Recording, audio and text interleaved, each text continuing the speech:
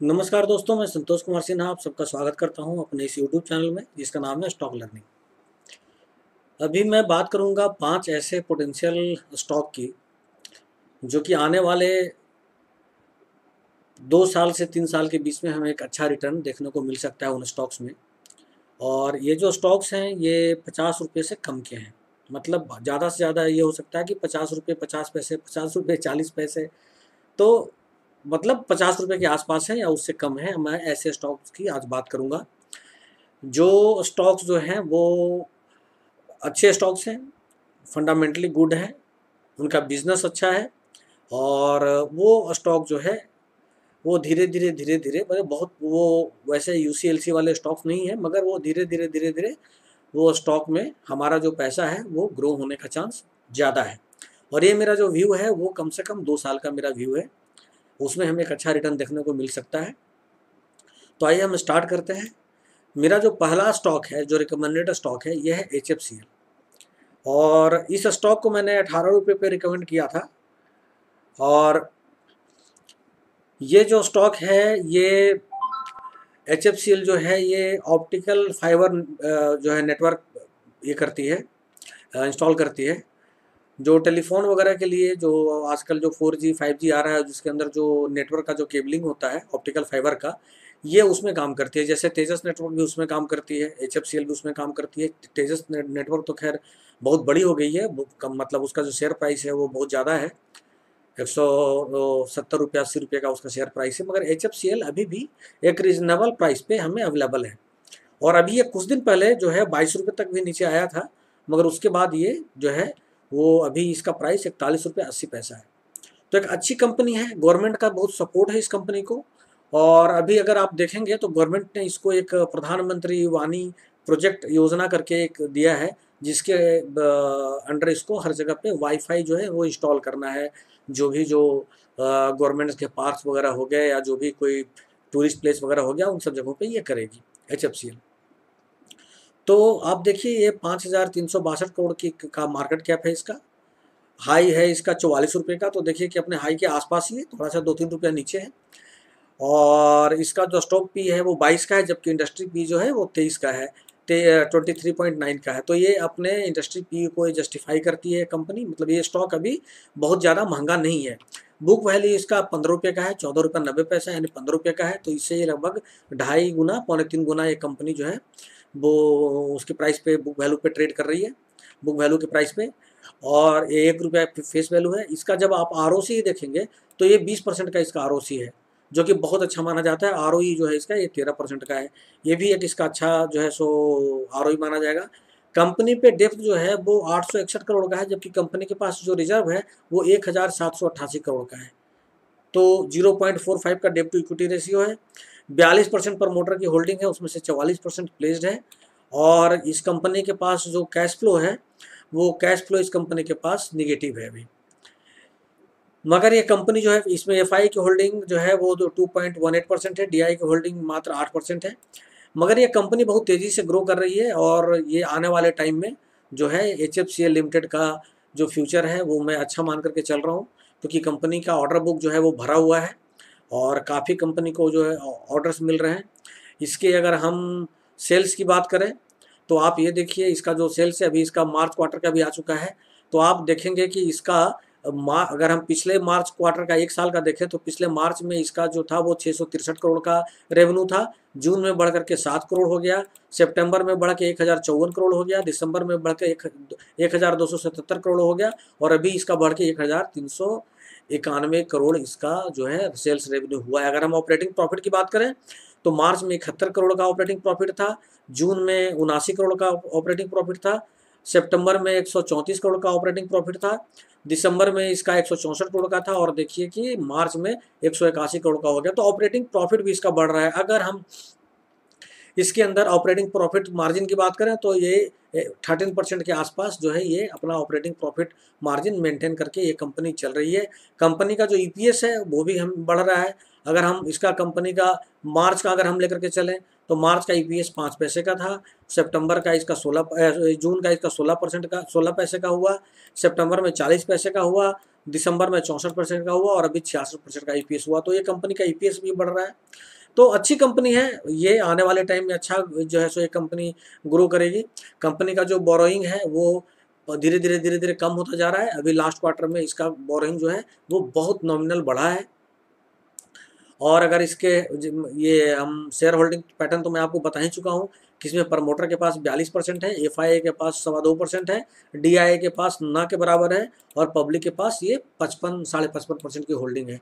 तो आप इस पर नज़र बनाए रखें, ये जो पचास रुपये के अंदर में एक अच्छा शेयर है और आने वाले दो साल के अंदर इस आपको इस शेयर में एक अच्छा खासा जंप देखने को मिल सकता है। दूसरी कंपनी मैं उठाता हूँ, वो है एचबीएल पावर सिस्टम लिमिटेड ये आपको ये जो कंपनी है, ये बैटरी बनाती है, बैटरी रिलेटेड कंपनी है और ये कंपनी भी बहुत अच्छा परफॉर्म कर रही है। इसका देखिए जो हाई है, वो तैतालीस रुपये नब्बे पैसे का है लो इसका ग्यारह रुपये का रहा है। करंट प्राइस अभी इसका उनचालीस रुपये का है। ये कंपनी भी बहुत अच्छा जो है, वो ग्रो कर रही है। इसका बुक वैल्यू सत्ताईस रुपये का है, सत्ताईस रुपये साठ पैसे का। और इस कंपनी के डेप्थ 103 करोड़ का है, जबकि रिज़र्व इसका 736 करोड़ का है। आरओसी भी इसका छः परसेंट है आर ओ दो परसेंट का है, और इसके पास जो कैश फ्लो है वो 140 करोड़ का है। इसके अंदर डी की होल्डिंग जो है, वो जो पौने दस परसेंट मतलब 9.75 परसेंट है, और एफ़ की होल्डिंग इसके अंदर 10.7 परसेंट है। प्रमोटर के पास 58.5 परसेंट होल्डिंग है, जिसमें कि कोई भी शेयर इसका प्लेज नहीं है। तो एचबीएल जो है, ये भी अच्छी कंपनी है। ये देखिए, एक साल में जो इसने रिटर्न दिया है, बहुत अच्छा रिटर्न दिया है इस कंपनी ने। और जैसा आपको पता है कि आने वाले टाइम में जो है वो इलेक्ट्रिक इलेक्ट्रो जो इलेक्ट्रिक व्हीकल जो आने वाली है, उसमें जो बैटरी का काफ़ी ज़्यादा यूज़ होगा। ये कंपनी जो है वो ये बैटरी सेगमेंट में भी काम करेगी। और इसका अगर हम, आपको अगर मैं सेल्स दिखाऊँ तो अभी इसका सेल्स देखिए। ये इसका जून में 120 करोड़ का था, सितंबर में दो करोड़ हुआ और दिसंबर में 233 करोड़ हुआ। दिसंबर में थोड़ा सा कम है, मगर ये कंपनी का जो काम काज है वो बहुत अच्छा चल रहा है। कंपनी अपने ऑपरेटिंग प्रॉफिट मार्जिन को भी काफ़ी जो है सो वो मेंटेन करके चल रही है। तो ये कंपनी जो है मेरा सेकंड पिक है। आप इस कंपनी में भी दो साल का नज़रिया बना करके इसको भी रख सकते हैं। तीसरा जो मेरा पिक है वो भी पावर सेक्टर से ही है S G V N limited ये जो है सो एक, एक तरीके से आप इसको बोल सकते हैं गवर्नमेंट की कंपनी है। और इसके पास जो है वो 2015 मेगावाट कैपेसिटी का जो है वो आ, इसके पास प्रोजेक्ट है। और ये कंपनी जो है ये हाइड्रो पावर प्रोजेक्ट्स में भी है और ये आपको विंड पावर में भी है और ये सोलर पावर में भी है। और इसके जो 1500 मेगावाट के प्रोजेक्ट्स हैं, वो आपको जो हाइड्रो पावर का हिमाचल में है 412 मेगावाट का एक और मेगावाट का एक और इसका है हाइड्रो पावर वो भी हिमाचल में है। और विंड पावर इसका महाराष्ट्र में है, जो सैंतालीस दशमलव छः मेगावाट का प्रोडक्शन करती है और सोलर पावर अब में भी इसने कदम रखा है, जो कि 5.6 मेगावाट का ये गुजरात में है। और एक और विंड पावर में इसने कदम रखा है गुजरात में, वो 50 मेगावाट का है। तो ये कंपनी जो है, अच्छी कंपनी है, ये कंपनी भी बहुत ग्रो कर रही है। और इस कंपनी को प्रमोट किया है government of India and government of Himachal Pradesh ने। और इसके जो क्लाइंट्स हैं, वो गवर्नमेंट ऑफ़ हिमाचल, इसके क्लाइंट्स हैं जहाँ से 26 परसेंट रेवेन्यू आता है यूपी पावर कॉरपोरेशन से 20 परसेंट आता है, जम्मू एंड कश्मीर से 11 परसेंट आता है और पंजाब स्टेट कॉरपोरेशन से नौ परसेंट आता है। तो इसके पास क्लाइंट्स की भी कमी नहीं, क्लाइंट्स भी इसके जो हैं वो अच्छे हैं। अभी इसके जो चार प्रोजेक्ट्स हैं, वो अंडर कंस्ट्रक्शन है। तो और एक कंपनी जो है, इसका सार, सात और प्रोजेक्ट का जो है, अभी ये सर्वे वगैरह चल रहा है। तो ये कंपनी का भी प्रोस्पेक्ट्स बहुत अच्छा है। ये कंपनी आपको मात्र छब्बीस रुपये, अस्सी पैसे पे है और अवेलेबल है। और ये जो बुक वैल्यू है इसका ये इकतीस रुपया साठ पैसा पे है। तो ये अपने बुक वैल्यू से भी कम पे ये कंपनी अभी अवेलेबल है। और इसका आर ओ सी सोलह दशमलव नौ परसेंट का है और इसका आर जो है वो फोर्टीन पॉइंट फोर परसेंट का है। मतलब कि इसका आरओसी और आर भी बहुत बढ़िया है और फेस वैल्यू इसका दस रुपये का है। रिज़र्व इस कंपनी के पास आठ हज़ार चार सौ चौहत्तर करोड़ का है। डेप्थ एक हज़ार आठ सौ इक्यावन करोड़ का है, जो कि ज़ीरो पॉइंट वन फाइव इसका डेप्ट टू इक्विटी रेशियो है। कैश फ्लो इसके पास जो है वो चार सौ पैंतालीस करोड़ का है। एफ़ आई की होल्डिंग इसके अंदर two point three three percent है और डी आई की holding five point four one percent है। तो ये कंपनी का भी फ्यूचर बहुत अच्छा है। आप इस कंपनी पे भी अपना जो है वो नज़र रख सकते हैं। एक साल में देखेंगे तो इस कंपनी ने अच्छा ग्रोथ किया है और इस कंपनी का अगर मैं रिज़ल्ट देखूँ तो इस कंपनी में अगर आप देखिए तो दिसंबर में इसका थोड़ा सा जो है वो सेल्स इसका डाउन हुआ है, लेकिन ये मार्च में उम्मीद है कि इसका सेल्स जो है वो थोड़ा और अप रहेगा।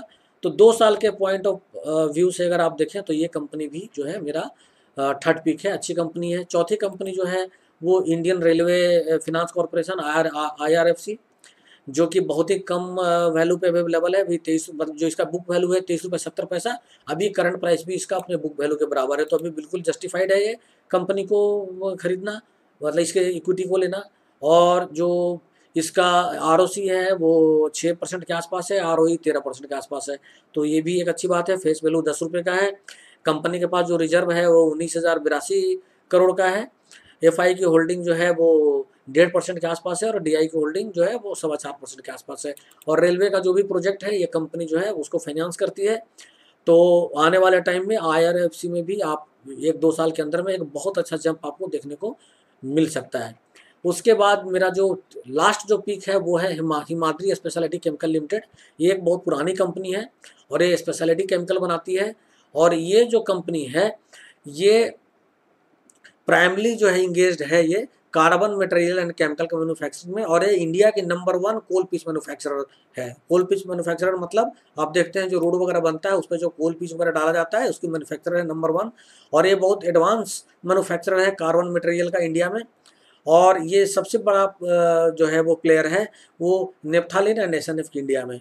तो ये कंपनी जो इसका कैपेसिटी देखेंगे तो कोल टार जो है सो, ये डिस्टिलेशन में है कार्बन ब्लैक में है स्पेशलिटी कार्बन ब्लैक में है एसएनएफ में है। और आपको बता दूँ, जैसे टायर वगैरह जो बनता है तो टायर वगैरह में जो कार्बन जो यूज़ होता है, जो केमिकल यूज़ होता है, उसमें जो लगाया जाता है, वो सब एक कंपनी बनाती है। और जैसा आपको पता है कि इलेक्ट्रिक व्हीकल में जो है, वो बैटरी की ज़रूरत पड़ेगी और बैटरी में जो है, वो लिथियम आयन से ही वो बैटरी बनेगी। तो ये कंपनी जो है, ये लिथियम आयन केमिकल का भी आगे चल करके ये मैन्युफैक्चर करेगी। इसका जो है सो कंपनी का प्लान है। तो ये बहुत अच्छी कंपनी है और अच्छे रेट पे अवेलेबल है। अभी ये देखिए, ये उनचास रुपया पे अवेलेबल है।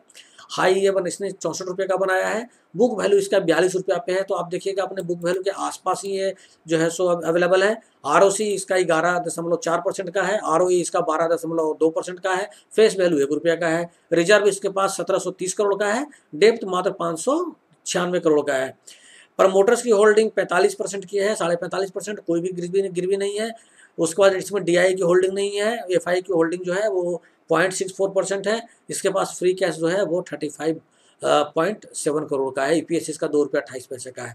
तो ये कंपनी भी अभी जो है सो कंसोलिडेशन फ़ेज़ में है कंसोलिडेशन फ़ेज़ में है ये, और उम्मीद है कि इसके अंदर भी बहुत जल्दी एक ब्रेकआउट आपको देखने को मिल सकता है। अच्छी कंपनी है, और इस कंपनी का अगर आप ग्रोथ देखें तो मार्च में इसका तीन करोड़ का रेवेन्यू था जो थोड़ा डाउन हुआ था जून में दो सौ अट्ठावन करोड़।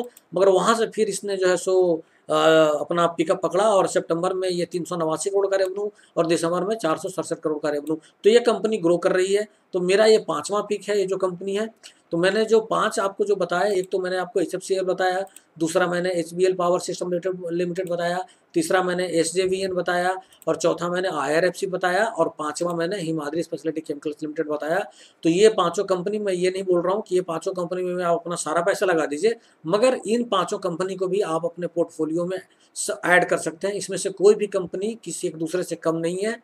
हाँ ठीक है, सबका एक जैसा ग्रोथ नहीं होगा, कोई कंपनी ज़्यादा तेज भागेगी, कोई उससे कम भागेगी, मगर ये चारों पाँचों कंपनी जो है, वो बहुत अच्छी कंपनी मुझे लगती है, और मुझे लगता है कि पचास रुपये के अंदर का अगर हमें स्टॉक लेना है तो हम इन चार पाँच कंपनी को अपने पोर्टफोलियो में रख सकते हैं, ऐसा मेरा मानना है। बाकी आपको इन पाँचों कंपनी में से किसको रखना है, किसको नहीं रखना है, ये आप अपनी तरफ़ से भी थोड़ा स्टडी कर लेंगे। या अगर आपके कोई फंड एडवाइजर हो या कोई फिनेंशियल इंस्टीट्यूशन से अगर आप कोई सजेशन लेते हो टिप लेते हो रिकमेंडेशन लेते हो तो आप उनसे भी एक बार कॉन्टेक्ट कर लेंगे। और ये जस्ट मैंने एक नॉलेज पर्पज़ के लिए बनाया है कि पचास रुपये से कम के स्टॉक प्राइस में ये पाँच स्टॉक्स जो हैं, वो अच्छे स्टॉक्स हो सकते हैं।